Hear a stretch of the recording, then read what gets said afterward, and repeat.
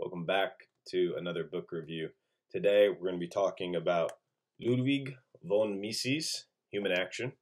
And um, let's just jump right into it, guys. This is a very large magnum opus economic treatise written by Mises in the later part of his life, which is really rewarding because Ludwig von Mises is one of the you know founders and fathers of the Austrian School of Economics.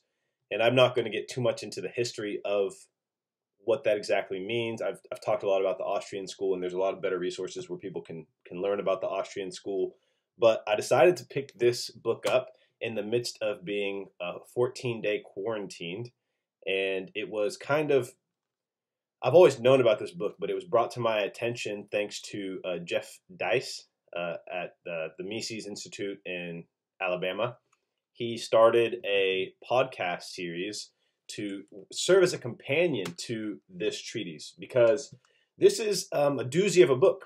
It's 900 pages of very well thought out, very um, detailed economic thought. And today I'm going to be talking about the book in general. I'm going to be sharing my thoughts, but I do want to say that this is kind of like a, a, a very elementary um, you know, sort of thoughts and very quickly done too, because there's just so much to unpack in this 900 pages.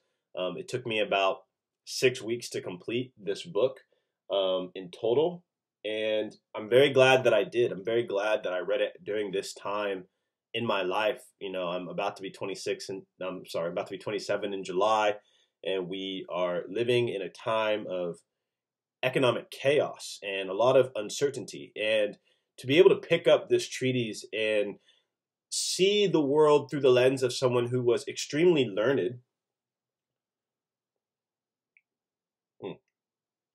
Sorry, I, I just woke up, so I definitely have to drink my coffee. But, um, you know, this was someone who had studied many branches of academia history, sociology, psychology, um, economics, mathematics. You know, he, he had so much knowledge when he wrote this at the later part of his life. And it's really good because he incorporates so many different parts of um, just the world into his, his, his thinking. And this book was, how do I say, it was like very counter and countercultural uh, and very much went against the mainstream academia and economics. And Mises was largely dismissed throughout his life by his uh, contemporaries because he was seen as being a, a financier or a, uh, being a financial tool of the elites, right? Because a lot of his research was actually funded by wealthy individuals instead of coming from the state. But what you actually learn in reading this, and what I think a lot of Austrians will tell you, is that this created a proper uh, alignment of incentives, right? Because one key difference uh, in the Austrian school and the Keynesian school is that the, the Keynesians start from an assumption that government should be in control of the money supply, and Austrians do not believe that. But enough about that. I'm going to do my best to talk about this book, and I want to start off with, you know, sort of two different uh, un- two different words, right? So catallactics. I had never heard of, of catallactics until I picked up this book.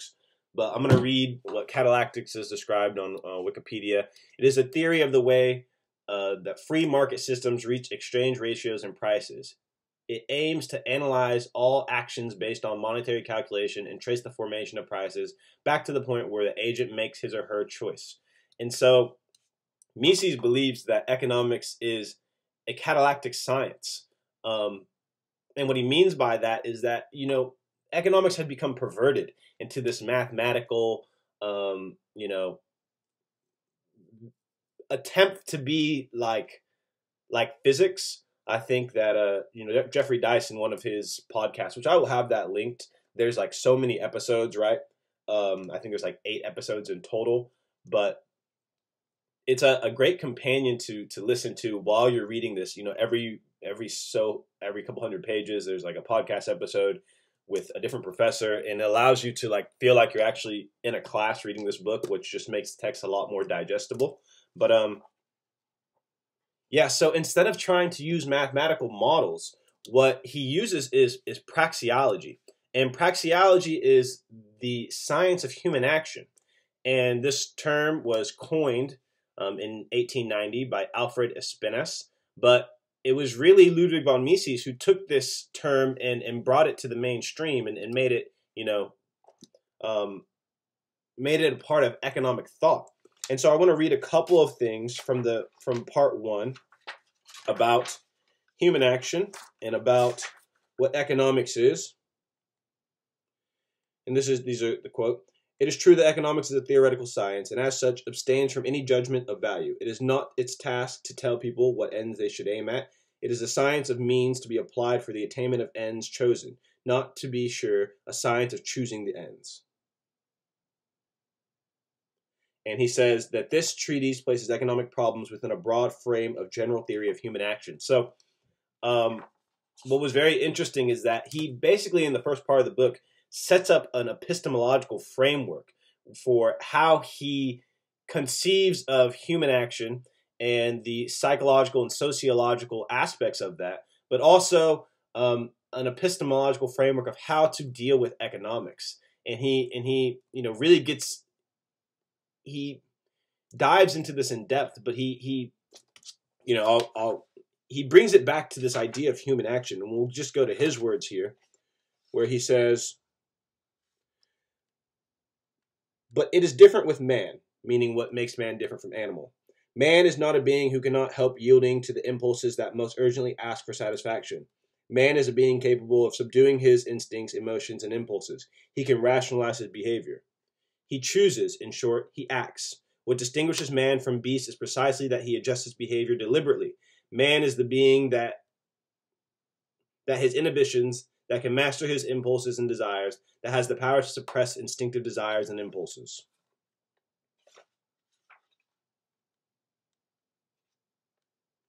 And then this is a, another very important aspect of, of his praxeology, which nobody is in a position to substitute his own value judgment for those of acting individuals. It is vain to pass judgment on other people's aims and volitions. So what he means by that is like there is no kind of like objective good, right? So like if someone chooses to go inject heroin, you might not agree with the ends, but you can't say anything other than this man was pursuing an action to uh, you know better his own value judgment of of the good and he, to achieve a particular end in that case probably getting high and maybe to escape reality but the point is is that economics does not make value judgments and economics doesn't try to um, it doesn't try to adjudicate it simply tries to it's not it tries to be descriptive right? It tries to talk about the way things are. And um, there was another quote in here that I liked, but I can't seem to find it now.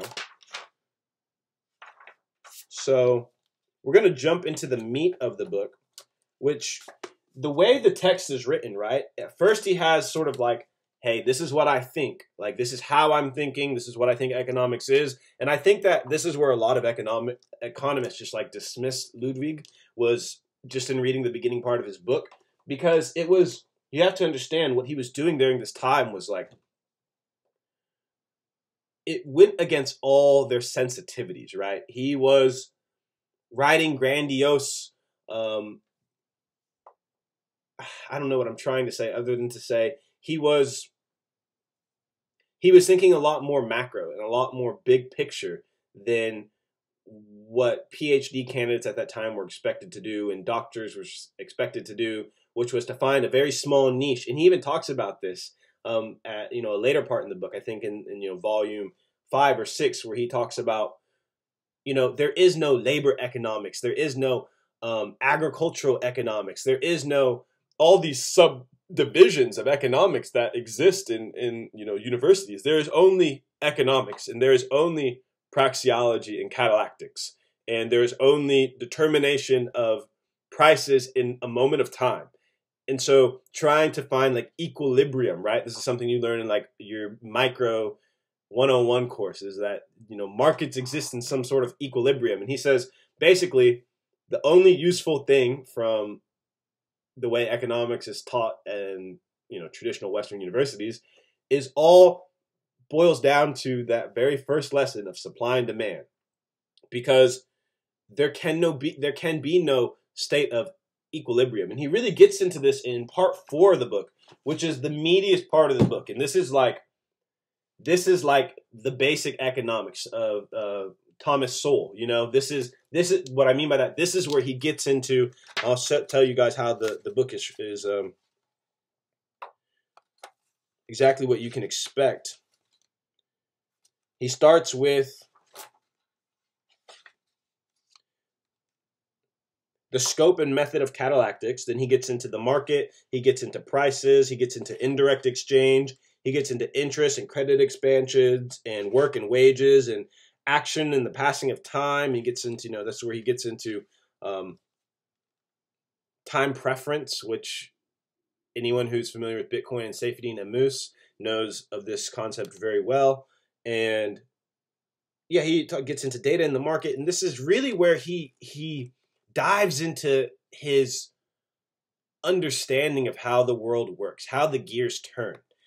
And I could not possibly try to distill this in this video in a way that would be of any use. So instead, what I did was I just wrote down a couple of sections from the book that I found the most interesting to me. And actually, not even the most, just as I like flip through the book again. I mean, look, like, this is one of those books that you are going to mark. I mark the mess out of it because I have the belief that I will review or like come back to this book at some point later in my life. But um, I just want to share some of these things for the sake of prosperity for anyone who's thinking about picking up this book, anyone who's familiar with my, you know, my reading and, and wants to just just stay up to date with what I've been doing. This is the reason why I haven't done a book review in so long because I've been, you know, trying to get through this and also preparing for my son who is to be delivered in July or expected to be born in July. So a lot of moving parts. Oh, also I moved. So I don't know if you guys can tell, we are now in my office. I'm in a new location. I've never shot here before. I got all my books in the back, which makes me very, very happy. Um, they used to just be scattered on the ground, no bookshelf or anything like that. But um, yeah, so let's get into.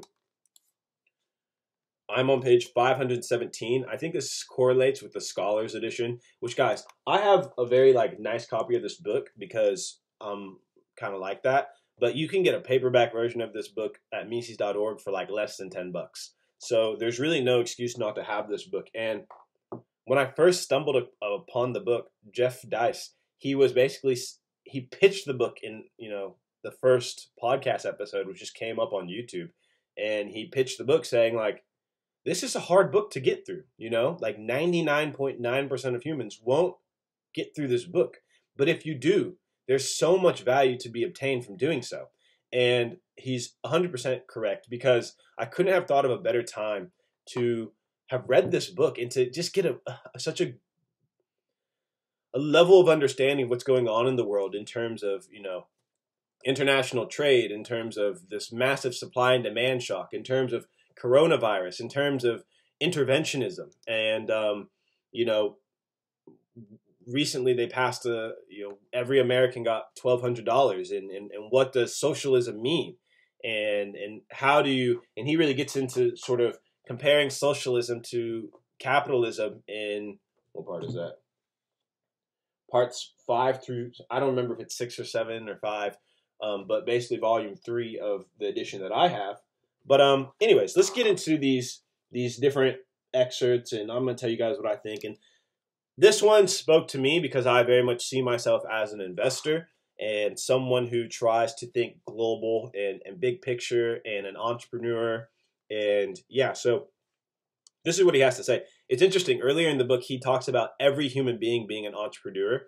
And so his understanding of what an entrepreneur is is a lot different because he thinks we're all entrepreneurs because we're all making calculations about the future and making projections about the future and trying to, you know, with different degrees of success, trying to navigate um, how we see the future playing out and aligning aligning our behavior in a way that gets us a maximum result. So, but an investor, this is where he talks about being an investor.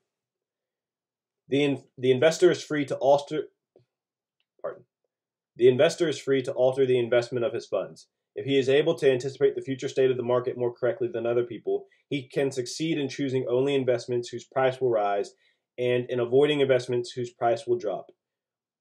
Blah, blah, blah, blah, blah. Stock exchange speculation and analogous transactions outside the securities market determine on whom the indi- determine on whom the incidence of these profits and losses shall fall. A tendency prevails to make a sharp distinction between such purely speculative ventures just making sure that the camera. A tendency prevails to make a sharp distinction between such purely speculative ventures and genuinely sound investment. The distinction is one of degree only. There is no such thing as a non speculative investment. In a changing economy, action always involves speculation. Investments may be good or bad, but they are always speculative. A radical change in conditions may render bad even investments commonly considered perfectly safe. So I thought this was very interesting because um, Thomas Sowell makes the distinction between investment and speculation in basic economics. And basically, Ludwig von Mises is saying, no, there's actually no distinction between these two actions, and it's only a matter of degree, but basically, all investments are speculation. And I think that this is a true statement. And as a cryptocurrency investor, and as a, you know, I guess I've always seen it as speculation because um, speculation, as defined by Thomas Sowell, is a very particular um, action taken in economies in which someone with more knowledge basically holds on to a commodity, um, buys a commodity with the expectation that their knowledge allows them to know that in a future date and time they'll be able to um, you know make a profit by taking on the risk. And so, let's say like a farmer could you know sell his wheat to a speculator in you know, let's say in June, because he's not sure what the market will look like in November. But um,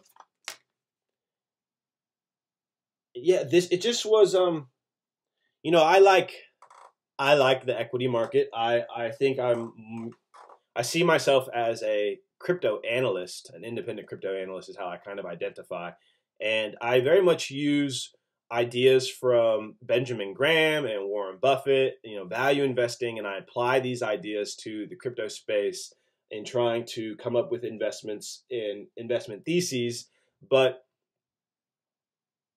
a lot of what I do is kind of like venture capital and like kind of like gambling, I guess, or speculation because you know you really are making bets on teams and on how you think the future will for example MakerDAO is an investment i recently started making and this is a protocol that issues a stable coin okay it's very but it's a, a currency a digital currency that's pegged to the us dollar but what's interesting about the protocol is how the governance of the protocol allows for um, essentially there's no central point of failure because there's no central entity who's issuing the token it's actually governed by a distributed uh, set of token holders and uh, and basically the thesis there is that i'm making a bet about how the future is going to play out in terms of this evolution from meat space into the digital realm, right? And and I think MakerDAO has a potential in that future.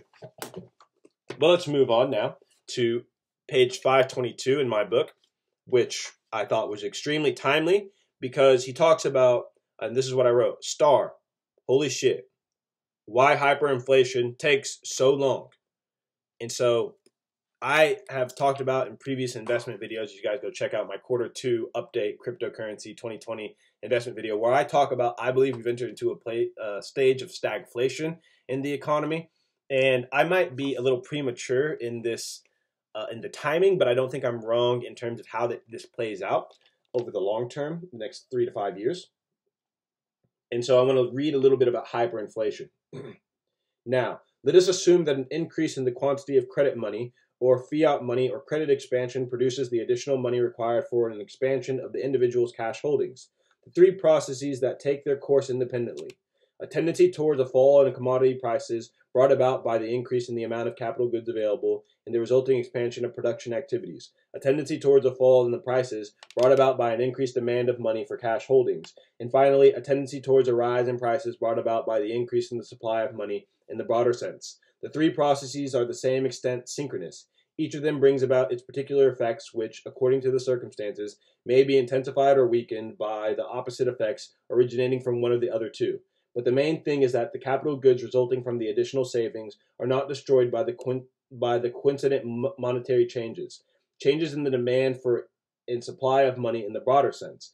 Whenever an individual devotes a sum of money to saving instead of spending it for consumption, the process of saving agrees perfectly with the process of capital accumulation and investment. It does not matter whether the individual saver does not or do, does or does not increase his cash holding. The act of saving always has its counterpart in the supply of goods produced and not consumed of goods available for further production activities. A man's savings are always embodied in concrete capital goods.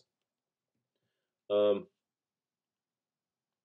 but what I got from that, so he was talking about, you know, the expansion of money and of credit.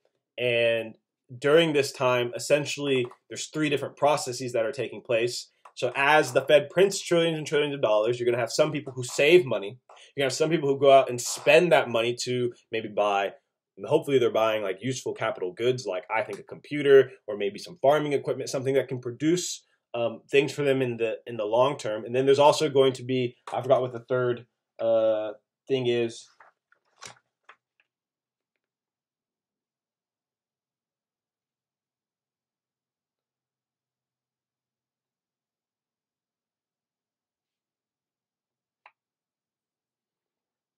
Um, the third thing is there's going to be a tendency towards the increasing in prices of things. So commodities and goods are going to become more expensive because there's more money in this in the system, right? And so basically what he's getting at is that when money enters into the economy, simultaneously three different price um, I guess valves are being maneuvered and some of them are inflationary, some of them are deflationary, and it's the balancing of these two or these three um, activities that eventually determines whether we are, you know, inflating, prices are inflating or prices are deflating.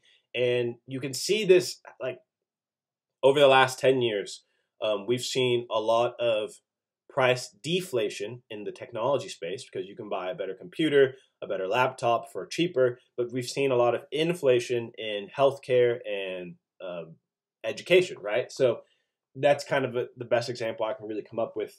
Um, I just thought it was very interesting to think about. This is why it takes so long for hyperinflation or prices to um, be reflected in, say, like a loaf of bread, right? But we're going to get more into credit expansion and essentially talk about the oil industry. As a Okie, this is an industry very uh, near and dear to my heart.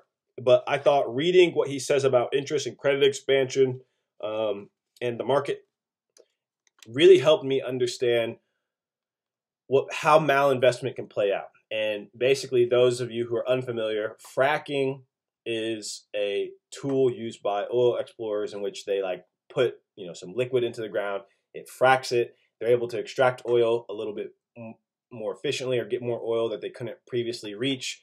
And in doing so, it like moves the seismic plates, but it's also very capital intensive, right? It takes a lot of um, takes a lot of money to be able to to have the equipment to frack, and you know we've recently seen negative oil prices, and basically what we're seeing is in the U.S. most oil producers need oil to be at forty dollars a barrel in order to be profitable, comfortably comfortably profitable.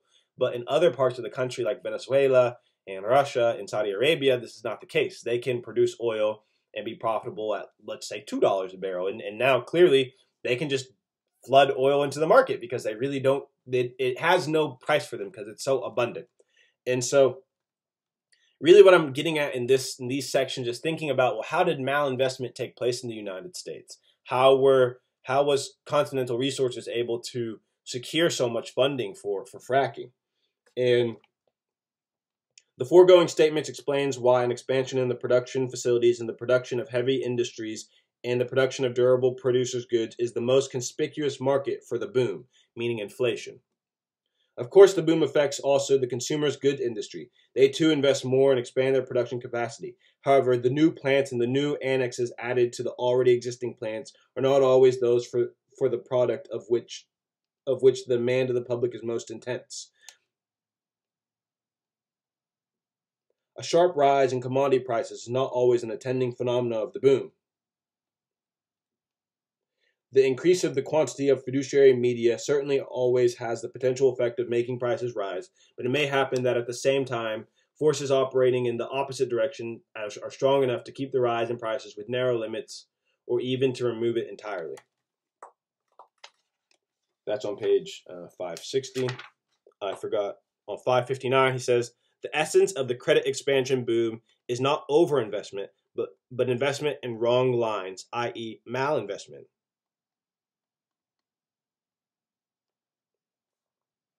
Um, mm, okay, skip that, skip that. On 576, he says, Advocates of credit expansion have furthermore emphasized that some of the malinvestments made in the boom later become profitable. These investments, they say, were made too early, i.e., at a date when the state of supply of the capital goods and the valuations of the consumers were not yet allowed not yet allowed their construction.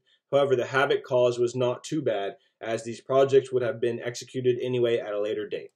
So we can think about that in terms of fracking, right? Like now we're sitting at a, a point in time where, well, we put all this investment into equipment to allow for the extraction of oil that we don't actually need right now. But at some time in the future, we may actually need that. So it's okay, is what kind of like what advocates of credit expansion say is that it's okay that we have this malinvestment because although we might not need it right now, we'll use it in the future. So the malinvestment is justified. But um, I think what you learn as you read this is that it just it distorts um, the ability for people to make proper um, catallactic conclusions.